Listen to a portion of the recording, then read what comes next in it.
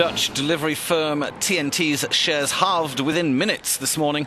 on the news that US rival UPS was abandoning its takeover, as it was expecting a rejection from the EU's competition commissioners. The deal collapse is bad news for TNT, which lost market share during negotiations, is struggling with weak sales in Europe, which have led the company to cut capacity there, and is not strong in any other major market.